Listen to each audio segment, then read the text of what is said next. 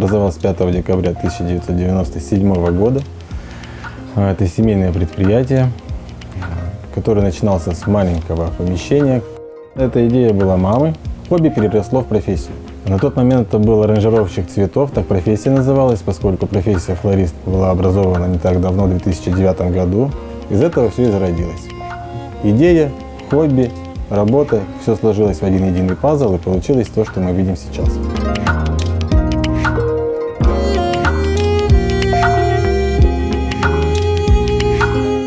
По образованию я сам юрист, э, линейный, системный человек. Э, Отработав в найме 7 лет, пришло осознание того, что нужно уже заниматься своим делом. Э, И тем самым как раз я вступил в управление магазином. Цветотлеваз на сегодняшний день это не просто цветы, это сувениры, это комнатные растения, это индивидуальная коллекция ручной работы. Все то, что можно сделать руками. Это уже арт-пространство для города Барнаула. Также мы, безусловно, каждый год для нашего города делаем какие-то новшества. Идея у нас в голове была давно, э, в этом году мы решили ее реализовать. Безусловно, идея по приобретению и установке автоматов по продаже цветов – это европейская идея.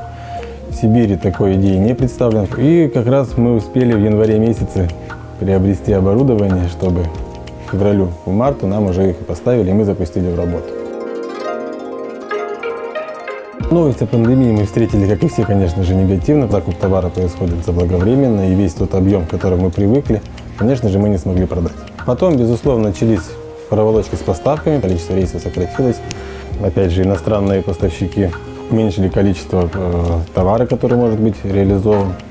Ну, вот это все как бы накатывалось, накатывалось, но не, при всем при этом мы все равно получали товар, то есть по небольшими какими-то да, отставаниями, но товар у нас был. Увеличилось количество заказов с доставкой, потому что иного варианта уже у людей не было. Клиенты сами говорили, да, вот мы заказываем цветы для себя, чтобы, потому что мы не выходим никуда из дома. Я посмотрю на композицию или на букет, он меня радует. Соответственно, настроение поднимается. Вот с такими мотивами и позывами люди заказывали цветы даже и без повода. Часто задают вопрос, почему вы не расширяетесь. Убеждение у нас такое, что лучше следить за одним магазином и делать качественный товар, чем распыляться и тем самым уследить за всем объемом. Мы же не сможем себя планировать для того, чтобы быть там, там, там, там. Тогда выходит сразу качество. Для меня бизнес – это в первую очередь общение с клиентами. Безусловно, это веяние в массы красоты. Безусловно, это помощь людям, потому что мы дарим им красоту, и люди за это благодарны.